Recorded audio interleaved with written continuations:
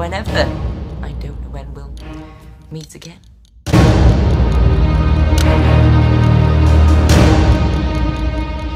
Day four. What's up guys, I'm back again and this week I'm not filling in for Hen, I'm filling in for Alex. Is this what I am? Am I a filling boy now?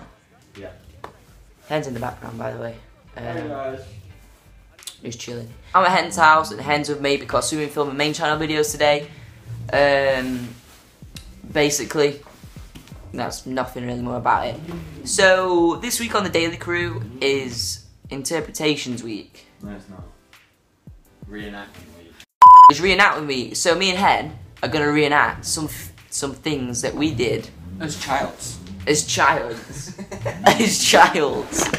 So yeah, we're gonna reenact some things that we did as kids or children, not childs. we're gonna. As we say in England, we say childs. We say childs, No, but we don't really. It's raining, by the way. It's Classic raining. English weather. Classic England. Proper chucking it down with. Let's go do it. You're just put your on my nose.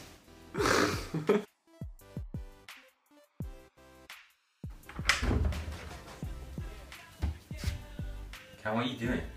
The fool's law of the hen. No.